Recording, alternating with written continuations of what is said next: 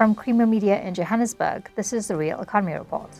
Original equipment manufacturer Daimler Truck Southern Africa has launched a line of electric heavy-duty trucks, the e-Actros range, as part of its Power Up electric mobility offering. Marleny Arnoldi attended the launch. The fully battery electric truck range includes the Mercedes-Benz e-Actros 300, e-Actros 400 and truck tractor variants, all with different wheelbase configurations. The range offers zero emissions and zero noise and complements the Fuso e-Canter light-duty electric trucks that DTSA launched in 2020. The e-Actros 300 has three lithium-ion battery packs with a battery capacity of 336 kWh and offers a travel range of 330 kilometers. It can be charged from 20% to 80% within 1 hour and 15 minutes. The gross vehicle mass of the e-Actros 300 ranges from 19 tons to 27 tons, offering body and payloads ranging from 8.2 tons to 16.1 tons. The e-Actros 400 has four batteries with a capacity of 448 kilowatt hour and a travel range of 400 kilometers. This model has a gross vehicle mass of 27 tons and a payload of up to 15.4 tons. The new trucks incorporate Mercedes-Benz's patented electric axle technology. DTSA product strategy head Justin Barnard tells us more. The main technology that we have patented, patented on the e-Actros is the e-axle. Um, this is completely different concept to what the other um, competitors are employing, where they make use of a central drive concept, where they replace the diesel engine with a electric motor, but they still maintain the transmission, the prop shaft, and the um, drive axle. So what we've done differently is we've integrated the electric motor and the two-speed transmission directly in front of the drive axle. So this means it's a much more compact solution. It is also more lightweight, which gives you um, a benefit in terms of payload as well as in terms of available space to fit batteries. Because as we all know, the more batteries you can fit to the vehicle, the further you can extend the range. The other benefit as well of an e-axle is that it is far more efficient in terms of recuperating energy when you want to slow down the vehicle. And what recuperation means is you basically turn the electric motor into a generator and you feed electricity back into the batteries of the vehicle.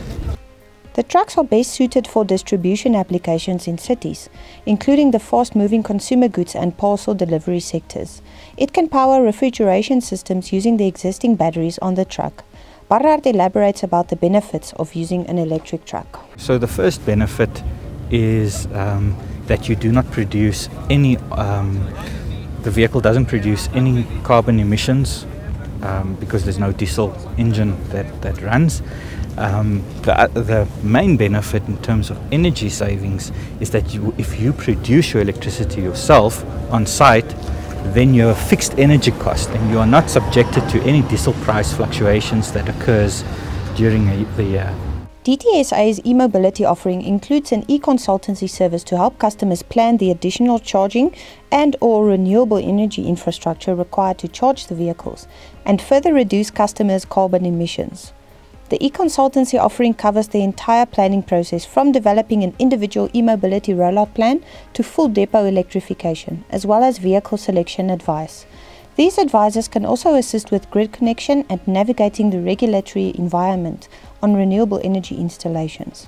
Through smart charging, customers are able to charge vehicles at times when electricity tariffs are lower, which also helps to reduce the peak power demand on the grid. The e-consultancy team can provide three-dimensional modeling for customers' depots or plants to ensure the most practical investments are made.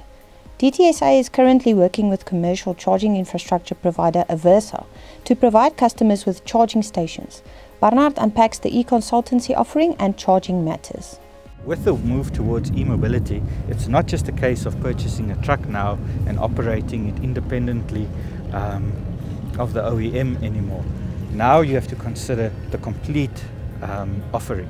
So what e-consultancy uh, does is we look at how can the customer best integrate the charging solution now to um, charge up these vehicles because as we know there's no public charging infrastructure at this uh, in place at this point in time at what we do believe in the short term the quickest way to introduce e-vehicles into your fleet is going to be through depot charging. And this means that the customer recharges the vehicle at his own depot or warehouse.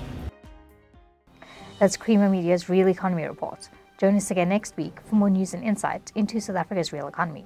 And don't forget to listen to the audio version of our Engineering News daily email newsletter.